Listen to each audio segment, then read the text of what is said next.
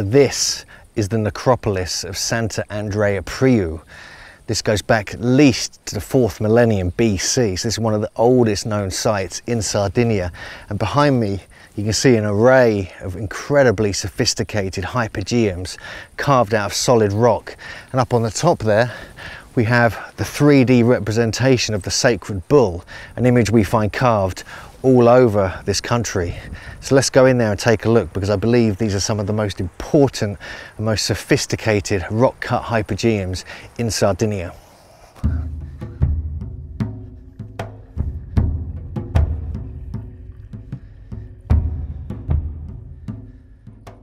So this area over here on the left as you enter the, the complex is actually cut off. It's got these strange steps almost at such an angle you can you can't really walk up them but it's got a very interesting tomb entrance just there. Then you have these rock carvings here in the solid rock. Then then these are the main tombs behind this large chunk of rock and this small hill. In fact this stone here on top of that is where the steps are that look just like those from Peru. It continues up there but up there just up there behind those trees that's where the sacred 3D bull is in high relief which would be looking out, protecting the site, facing west, southwest to the setting sun.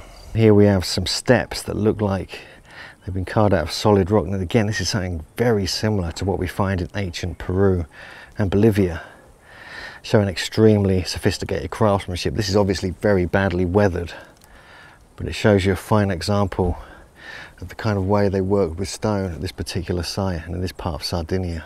You can see those steps over in the distance. Then we have like a, what looks like some kind of outdoor tomb or bath here. And then the amazing steps carved right here.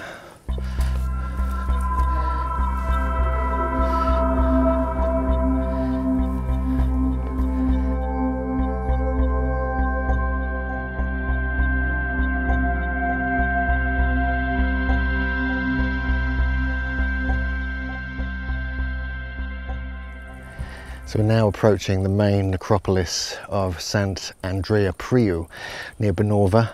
This is a very interesting site. It's got some of the most impressive hypogeums. This is why I've got the torch on my head. And it's got the largest one in the whole country, in fact.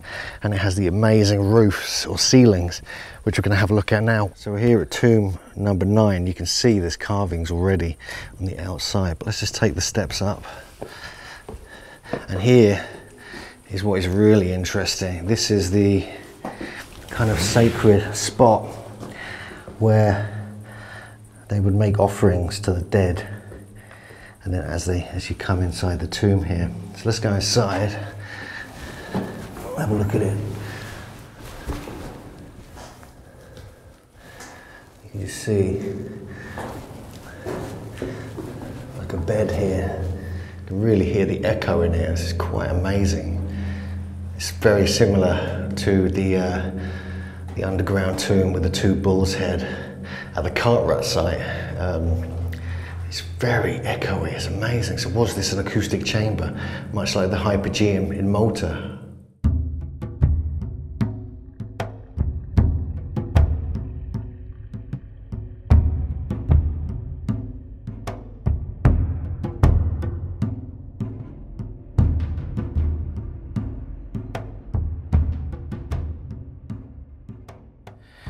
This is another tomb.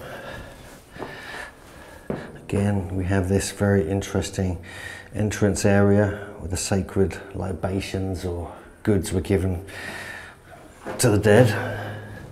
We have this doorway with two other niches, massive echoes in here. Wow. And this is impressive. This is the one I really wanted to look at, in fact. This is the one. Oh my God, this is the one with the incredible roof. So this is the main reason I wanted to come to this site. I wanted to see this, this amazing roof. It almost looks like it's made of wood. Isn't that incredible? Just looking at it from this one position. If I just zoom upwards, so you can see the rest of it. It's like made out of wooden beams. It's like a tent almost with these great pillars and it continues behind it over there. with niches all around. What a remarkable sight. This is amazing. This is incredible. So this is just one of the most unique designs. We don't find this anywhere in the world, really, apart from here and in the Etruscan world. So we have to question, is this linked to the Etruscans of ancient Italy? It most certainly seems so. This is up at one end. As you walk in, it's on the left. This huge area, like a curved area. We have another niche in there, just near the entrance with the amazing roof just above it. Another one over there. And then that's the back. We have another one here and here. This really is something special, this place. What an amazing hypogeum tomb this is. It's absolutely incredible. Carved out of solid rock. This is the trachyte outcrops. This is hard rock. It's not like soft limestone. This is a major megalithic operation. It's a big respect to the builders.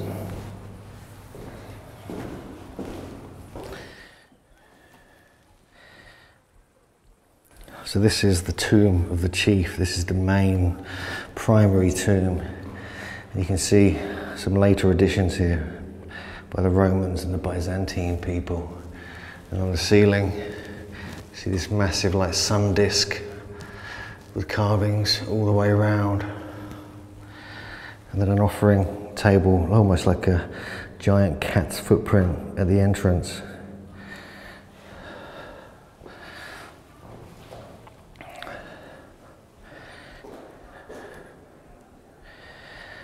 So this is La Domus number nine, Tomba del Capo.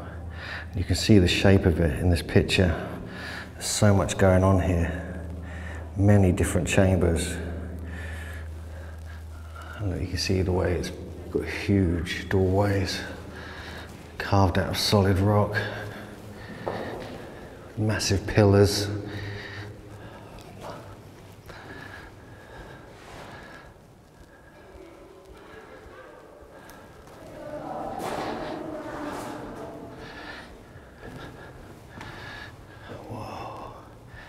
This is amazing. Pillars, paintings all over the wall by the later Christians and Byzantine peoples. On the right hand side here, I have another area that goes all the way through there.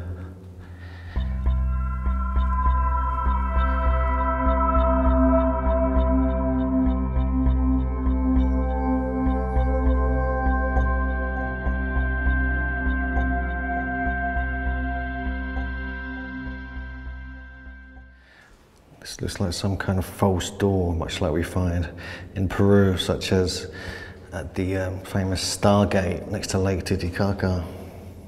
Huge carved out of the roof as well, the back chamber here.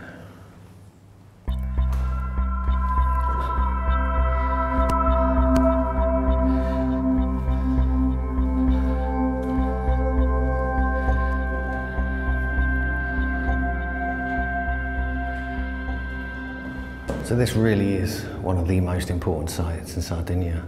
It's got multiple tombs, it's got incredibly sophisticated rock carving. Uh, it's been reused by various cultures from the fourth millennium BC right up to Roman and Byzantine times.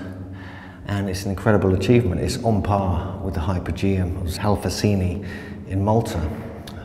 It's got um, some beautiful solar kind of imagery on the roof and um, we haven't seen any bull carvings, but we know there is a 3D bull carved in solid rock outside on the top, which had his head broken off.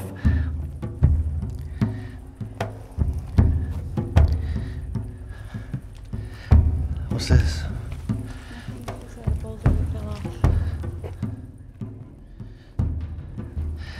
Here's some kind of chasm that's cut out of this rock here.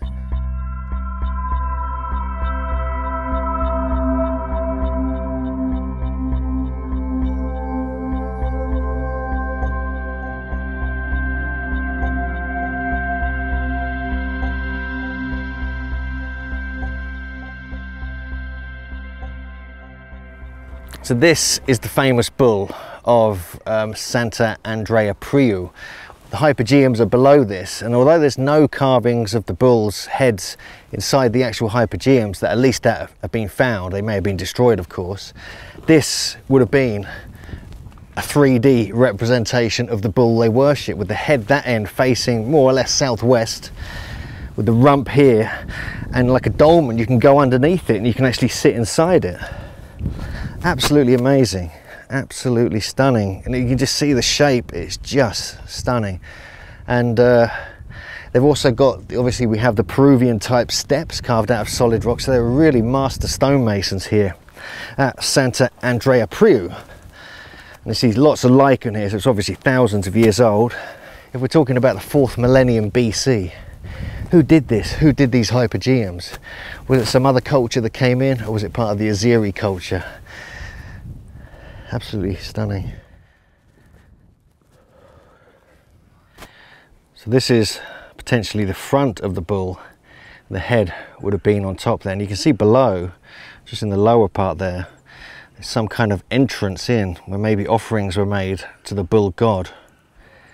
I think one thing that gets me about this is that it's an absolute kind of sign or symbol of dominance over this area. And this was pre-Nuragic, could even be pre-Ozieri culture. Seems like a much more ancient peoples were here carving these incredible tombs, which are incredibly reminiscent of many of the Etruscan, tomb, uh, Etruscan tombs north of Rome.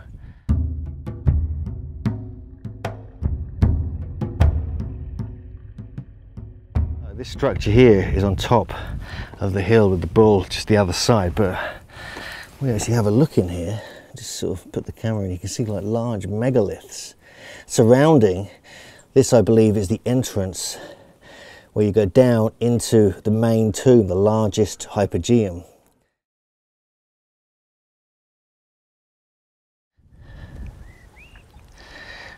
We have one final mini hypogeum here just carved into the rock at the top of the complex near the sacred bull. You can just see holes in the ground here. Very interesting, just everywhere. You obviously found these very important, these ancient peoples.